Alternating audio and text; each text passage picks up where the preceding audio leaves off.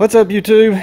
So we're finally out here. We're going to test my hoist that I put on top of the uh, garage. You can't see it. We're going to check, walk in here and check it out. But we're going to lift this ski off the dolly and we're going to drop it onto the trailer here. So let's get in here and get this going uh, real quick. This is an awesome little tool I bought from uh, Harbor Freight. I can, using this, I can wheel these trailers, these jet skis, even my boats over here. Uh, I'm limited in my area space up here because I live on the side of a hill, but this is uh, huge as far as make the ease of uh, moving these trailers and jet skis around. Anyway, so let's get back in here into the garage and uh, get started with this. But let me do an update real quick. This is kind of a, a uh, combination jet ski and garage hoist video because I have reinforced my hoist. And here's why. On my video, the installation of this thing, I purchased, if I get the camera up here, five brackets, if you can see them across the top.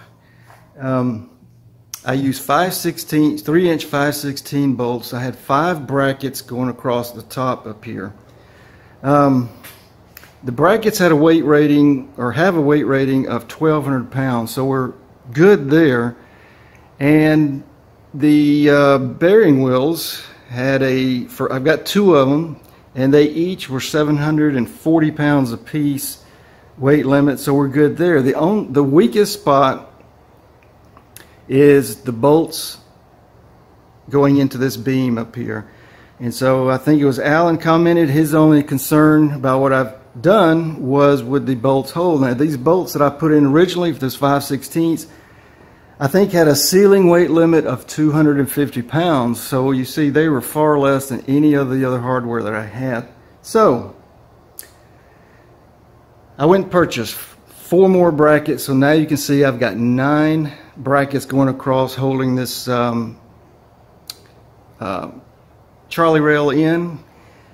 And I also had another commenter, I don't remember his name, who reminded me that I did not put the bolts through the brackets. If you can see up here, to keep those bracket arms from spreading out on the uh, pull or the weight. So, so I've added brackets, I've added the bolts through the brackets and I also upgraded on the four new ones that I bought. I upgraded to, to 3 inch 3 eighths lag bolts for added uh, strength on this thing. So why? This.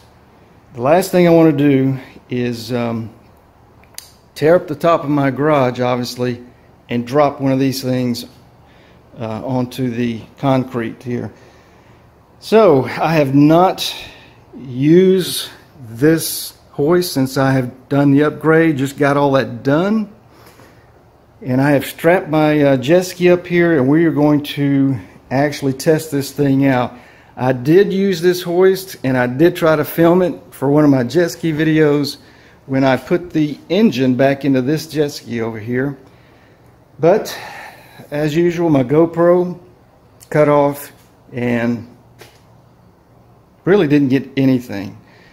But it was so much easier dropping the engine with the hoist uh, down into this jet ski, lowering it just to the uh, height that I needed, and I could uh, connect all of my oil lines, water lines, my starter cable, ground cable, everything I was able to connect, and then lower it down onto the mounts, and it was perfect. So today, we're going to do the other thing, the other the reason I bought this is to move these jet skis around from trailer to trailer and from trailer to dolly and vice versa back and forth. So without uh, talking any longer, let's see. Now this, real quick guys, um, don't give me a hard time on this setup. I have, I'm experimenting. Uh, I did buy some straps. I've got one sitting on top of the old dryer over there, but it's a 20 foot strap. Um, I thought this would be better. I did buy two six foot straps that I used for the engine uh, and the ski behind me, but six foot straps would, would not fit under this ski and come up here to the hoist.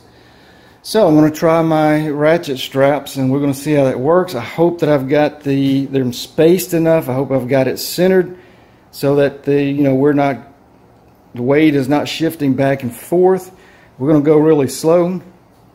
And like I said, this is uh, just a test run and I'm sure there's going to be improvements to come. So all right, let me set this down. I'm going to turn the GoPro on. And let's see if we can get that jet ski lifted. We're going to lift it. We're going to roll it back with the roll. That was the reason I bought this 10 foot rail. And so we're just going to pick it up, move it over, and hopefully drop it down on this trailer. All right, let's go.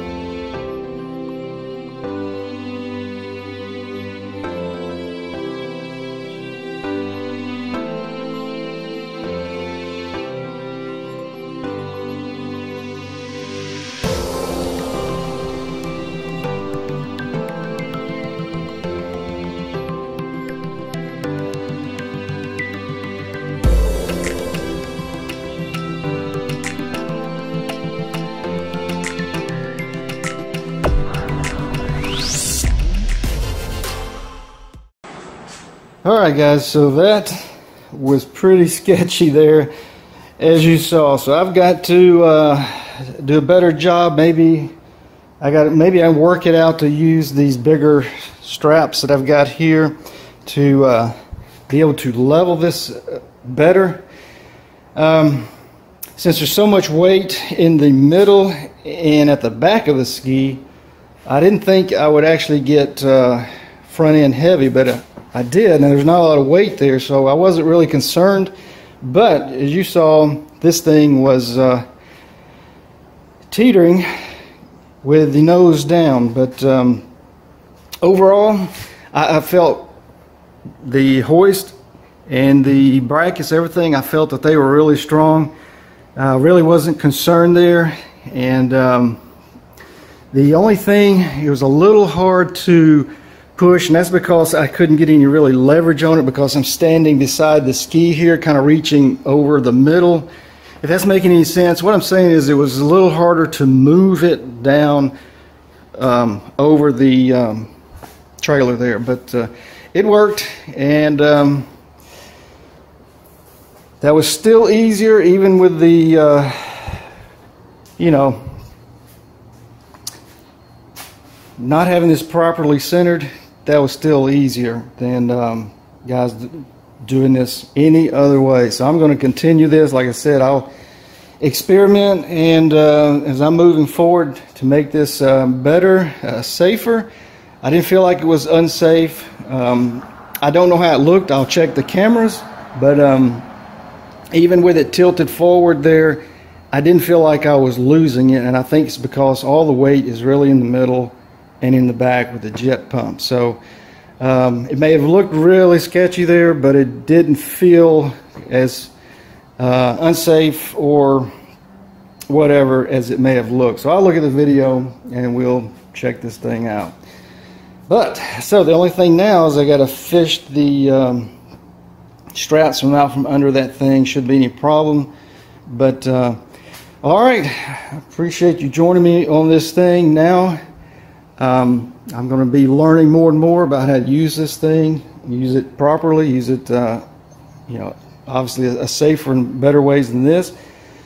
But this is perfect. Um, you know what? I may, I don't know if I'll close the video here or not because my next step is to get this onto the ski to this side.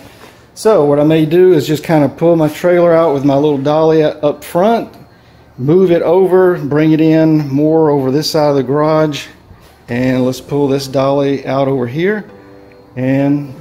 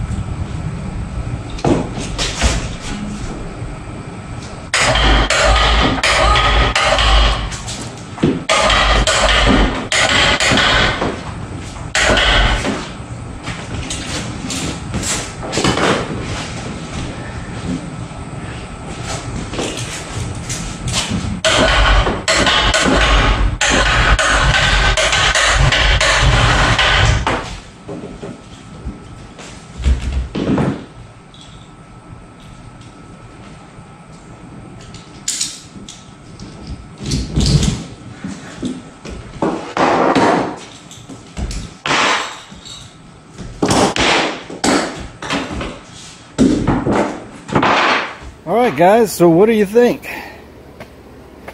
Real quick though, again, this has been a great tool to move all these things around, get this trailer in here, and I'm going to use it to get these jet skis out of here and uh, hook it to the back of the SUV. But if you could tell from the GoPro, this one was a much easier. So I spread the um, the straps further, a little more up to the front, a little more to the back. And guys, this one was balanced. Again, I don't know if you could tell from the GoPro video, but this one was really balanced, much easier and much quicker. So, man, this just worked out perfect. And I hope the video picked it up. I hope the GoPro didn't shut off uh, during the middle of that. But uh, anyway, so these things are on and uh, couldn't be more pleased. The hoist, perfect. I mean, there was no, you know, dreaded cracking or I didn't feel it pulling down, you know, it, just, it felt really, really solid. And um, the only thing I would say is the weight of these skis, it made it a little harder to move the um, hoist back and forth. But uh, it, it rolled, but it was just a little harder, obviously, with the amount of weight on it. I'm not sure how much these weigh, but I think the bigger ski here, I think it's around 600 pounds. And I think the GTS is maybe just under 600 pounds. So um, anyway, it's not the biggest skis we have, but those are about average. So um, anyway, worked out great. And you know, if I don't break something, just real quick, every time I come out here, if I don't break something, I guess I'm not working. But I totally just totaled my uh, tail light there. This happens all the time. Look, I've got up here, I've got I think three tail lights in there, so I keep spares because I do this all the time of uh, trying to move skis from trailer to trailer or to a dolly. Anyway, when you shove a dolly or even that front matter another trailer into there, I have ended up with a smashed lights before, so I always keep spare. That one I just caught on the uh, edge of the fence, bringing it up out of the backyard, so I got to fix that real quick. But anyway, all right, and I'm going to throw in something else here. Um, over here, I have dismantled a 951 carbureted engine, so if you need some parts, know someone else that might need some parts, just let me know. Everything is good except the crank is bad. I did a video on this, I think a year ago. Uh, bearings are all good except just the one rod bearing, and the head here is kind of chewed up um, there, so I wouldn't call it good. And there's the bad piston that did it. But the cylinder jugs here are good shape. The sleeves are in good shape. Here's the piston that would come with it. Um, and I don't remember. I measured it, but I, I'm sorry, I don't remember if this is standard or if it's been bored. But here's the piston that would come with it. But everything else is good. So I'm going to see if I can part this stuff out. All right, so back to these real quick. I'm like I said, I'm pleased with how this turned out, and this is going to really be a great tool in the coming weeks and months. And um, all right, so I'm going to stop the video here, guys. I appreciate you joining me as usual, and uh, we will catch you on the next video. All right, see ya.